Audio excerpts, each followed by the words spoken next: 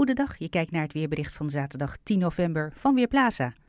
Afgelopen dagen was het prachtig herfstweer. Ik heb genoten van de mooie herfstkleuren.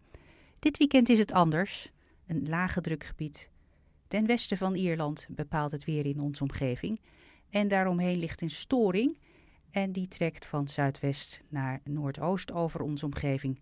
Dat laat ook de weercomputer zien dat de storing naar het noordoosten trekt.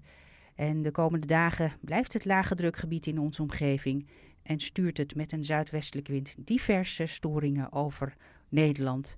En daardoor is het tamelijk wisselvallig, in ieder geval tot en met dinsdag. Vandaag hebben we te maken met een storing. Vanochtend is het al bewolkt en regenachtig. De regen trekt in de loop van de ochtend naar het noordoosten weg, maar vanmiddag kunnen er nog een paar buien vallen. Zon maakt vandaag niet zoveel kans. Alleen in de kunstprovincies kan de zon af en toe even doorbreken. De temperatuur die schommelt vandaag tussen de 12 en de 13 graden, maar door de stevige zuidelijke wind voelt het allemaal frisser aan.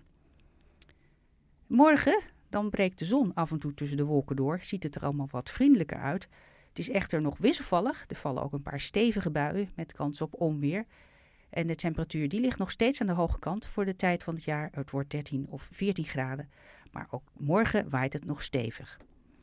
Dan hebben we begin volgende week nog een paar wisselvallige dagen. Maandag is het bewolkt en regenachtig bij 12 tot 14 graden.